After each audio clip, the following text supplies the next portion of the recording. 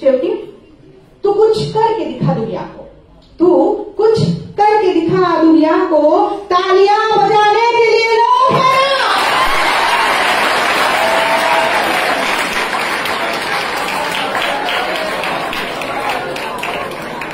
तुमचं तो प्रेम कळालंय मला।